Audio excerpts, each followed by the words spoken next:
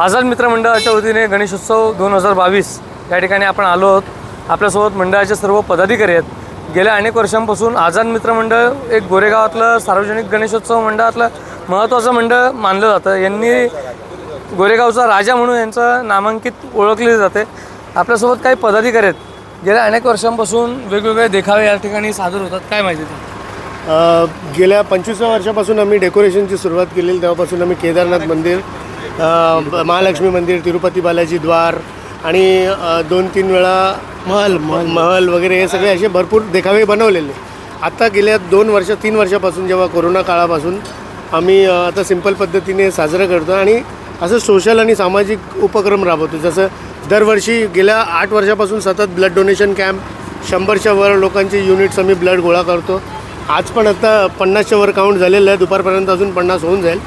आणि प्र प्रत्येक प्रत्येक प्रत्येक दिवस आमचं कुठला ना कुठला आम्ही एक अकरा दिवसामध्ये साजरा करत असतो. काल क्रिएटिव्हिटी क्लासेस ठेवलेले सलाम बॉम्बे फाउंडेशनतर्फे आज ब्लड डोनेशन कॅम्प आहे.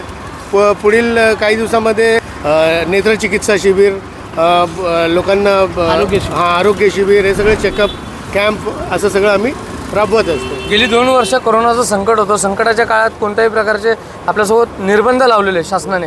आता देवेंद्र फडणवीस व एकनाथ शिंदे सरकार आहे त्यांनी ज्या प्रकारे निर्बंध हटवले सामाजिक गणेशोत्सव व दहीहंडी उत्सव त्याबद्दल आपलं काय प्रतिक्रिया राहील? त्याबद्दल आम्ही शासनाचे आभार व्यक्त करतो आणि असंच मंडळांचं प्रोत्साहन होण्यासाठी असे सगळे काही जे निर्बंध आहेत त्यांना काढून काही सेफ्टी मेजर्स घेऊन शासनाने पण त्याच्यामध्ये मदत करावी.